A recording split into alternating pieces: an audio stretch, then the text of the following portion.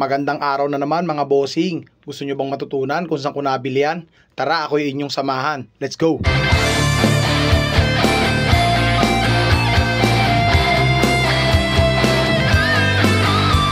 Habang ako nga pala ay gumaganap sa sinumpaang katungkulan. Gutom, bigla akong dinatnan. Dis oras ng gabi kaya wala na masyadong tindahan. Buti na lang at merong isang matibay. 24 hours, kahit anong oras kang bumili, ikay pagbibilhan.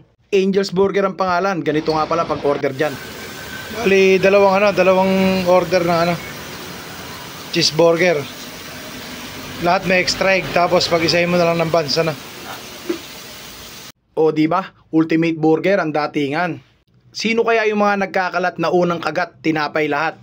Subukan yung ganitong order nyo, unang kagat, pati lahat.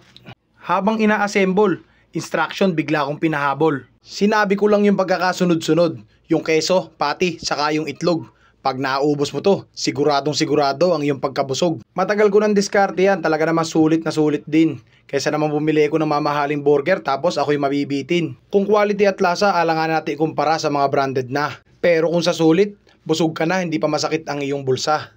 Kitang kita naman, meron ka ng burger pre, meron ka pang takeout, pansawsaw bukas sa kape. Isang food trip malala na naman mga brother. Kaya tirahin na natin to ang ating Ultimate Angels Burger. Kanyan lang talaga ang buhay mga repa. Hindi mo kailangan kumain sa mamahaling restaurant kung hindi mo kaya. Kailangan mo lang talagang hanapin ang mga pagkain na magbibigay sa'yo ng saya. Yung tipong masaya at busog ka na, hindi pa ubos ang iyong pera. Talaga namang sulit din mga bossing. Hindi na natin kailangan ng ultimate bite, a little bit of everything. Kasi lahat ng pyesa nandyan na. Kada kagat mo, lahat sama-sama. Yung keso, itlog, tsaka yung piniritong baka. Wala na naman tayong masabi kundi talaga namang aana, ee pa. Ito nga palang last bite ay alay ko sa inyo. Sa walang sawang suporta at panonood nyo. At kung kayo ay nagutom ko, pakishare naman yung video. Bye.